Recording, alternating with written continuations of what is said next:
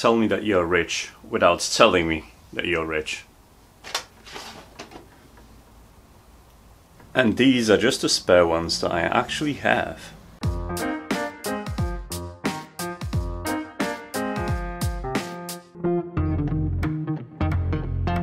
Hey guys, one of these Raspberry Pi boards that isn't in a drawer is actually in this small wheel robot from Sunfounder and this is P-Car X. And I'm fortunate because there are lots of Raspberry Pi uh, based robotic kits out there.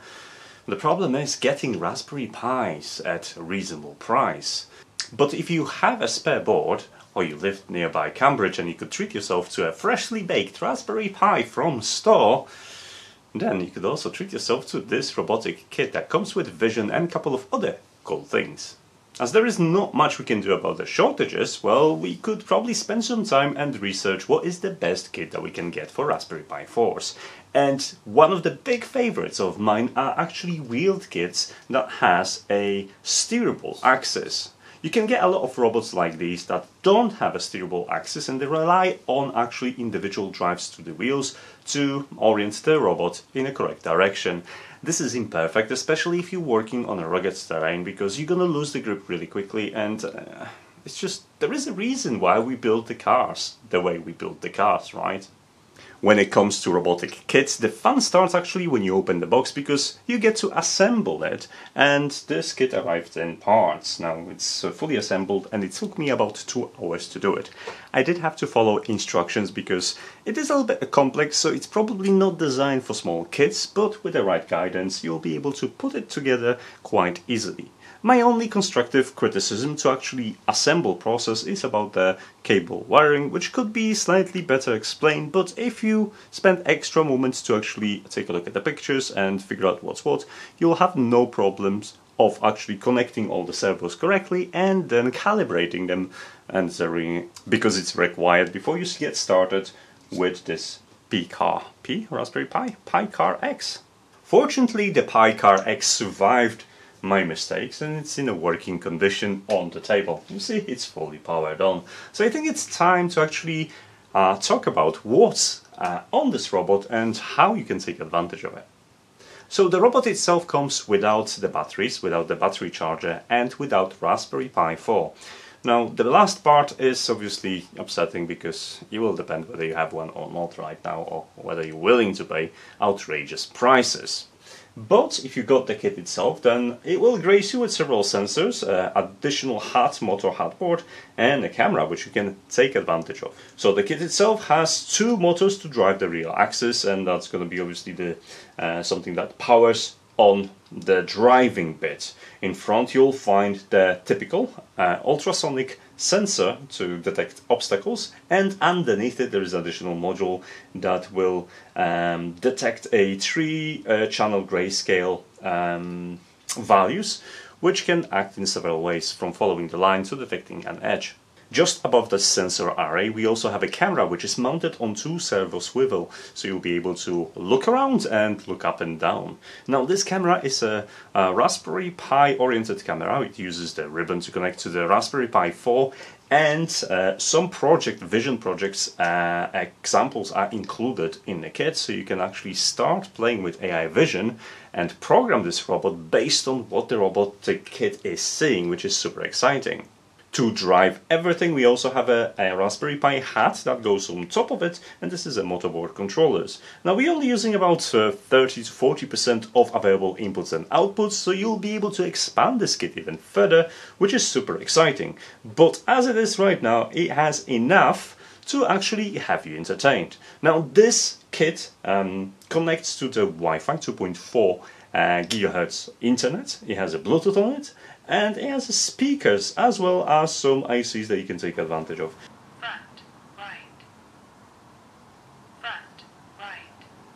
Now that you, well, virtually have everything assembled, there is one thing to do. We have to set up Raspberry Pi. And uh, founders has a designated page with documentation that will walk you through everything from installing Raspberry Pi OS and uh, do select the version with a desktop environment because it's needed for the camera to operate properly to playing with examples provided for both EzBlock and Python. Now the setup instructions, uh, they take around 30 minutes to fully set up your Raspberry Pi and start playing with the device and you can take advantage of really three interfaces. So I already mentioned the EzBlock, which is a visual programming and something that you can get started even now without coding experience but if you prefer coding in a hard level then you have pure Python available and you can take control over your robot using Python. Now the third mode is actually using an app. SunFounder is providing you a really cool app that uh, overlays the controls on top of the camera feed. On top of that, it allows you to select different functions of the robot and toggle sensors, enable AI vision and object recognition or face recognition even. So that way you can have an instant preview of what is robot capable of and uh, what you can do with it without actually writing a single line of code. It's very nice and very entertaining, especially if you're just getting started and you would like to get a feel for what it's like to have a robot like this working for you. My advice is to start with EzBlock because it's the simplest way to interact with everything that uh, PiCar-X has to offer. It's available as a downloadable software or you can play with it via browser so you don't even have to download it on your computer. Just go to the designated address in a specified in the documentation and get started. I already played with similar uh, visual IDEs in the past, but one of the disadvantages of the EzBlock is that you can't really, in an easy way, jump from the script you've created visually to underlying a Python script to edit it out. Now, the provided examples can be opened using EzBlock as visual block or as code, and you could edit them that way, but there is no easy jump and forth that you can do uh, from the uh, new script that you're designing yourself. This is the only disappointing part, but it's not deal breaking because, well, if you want to program in Python, you can switch to hard mode and start programming with Python. To get started with Python, you're going to need your IDE of your choice and it will depend on you. You could use Thonny for Python, you could use something more advanced, or you can even use Nano if you know what you're doing and know how to get around your ways with Python. But to ease the transition from EzBlock to Python, uh, founders actually provide you with a library of examples that will cover various topics, and those will include obstacle detection and avoidance, uh, text-to-speech tasks, so you could take advantage of built-in speaker, edge detection line following, and computer vision, AI, face recognition, and ob well, object recognition, which is always quite exciting. I've tried a couple of samples myself but I quickly discovered those are examples how to use certain features only, not already scripts to kind of load it on your car and drive about. I mean the functionality is there but you'll have to do a lot of tuning to actually get the robot to behave the way you want.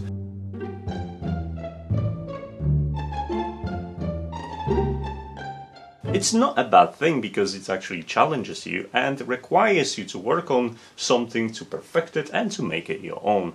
And that is always encouraging. So far so good, but I have some constructive criticism. Now, obviously first one was uh, if you don't install the correct version of Raspberry Pi OS, uh, then you might get yourself in trouble by having certain features not working, so make sure you check the documentation. However, the actual installation of additional libraries should be improved a little bit. Uh, for example, I had problems installing the driver for the speaker. I had to run it a couple of times to actually make it work. And even then, sometimes I have to rerun it again to make sure my speakers are working on this thing. It's disappointing, but like I said, nothing that a restart of the script wouldn't fix, so it's okay. Another thing that I personally take the issue isn't the problem with the kit itself, it's just with the servos being in charge of the turret on the camera. It's very jittery, but that's the nature of servos and unless you're gonna write the driver yourself that will, will make it more smoother, you'll end up with kind of like very familiar and jittery response from a servo which is overly sensitive to every micro movement of, for example, your uh, controllers on Android device. It's not much we can do about that part.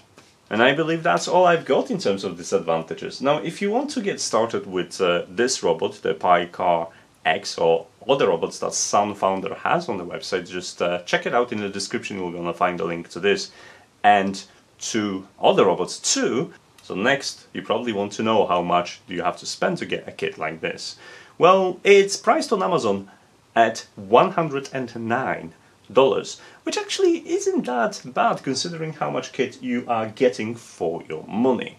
So if you are looking to take on another challenge and do something exciting, uh, then working with the Vision project is actually quite interesting because it's not just squares and shapes on the camera anymore. You can actually respond to them and make object move, in this case PiCar-X. And there's nothing more satisfying than uh, looking at your script doing something meaningful and well driving robot around based on the environment it's always a meaningful thing to do regardless of whatever they gonna tell you. So big thanks to Sunfounder for sending me the kit so I could talk about it and if you're interested check out the description for more details. As for now, it's probably not the last kit from Sunfounder I'm going to cover, so if you're interested in more, you know how YouTube works, I'm not going to explain all of that. Just bear in mind I do not have a posting schedule, so it's best to use YouTube features to, well, follow my work. There's a couple of uh, social media accounts as well. You know how that works. As for now guys, thanks so much for watching and I'm definitely going to see you in the next video, right? Let's go for a drive.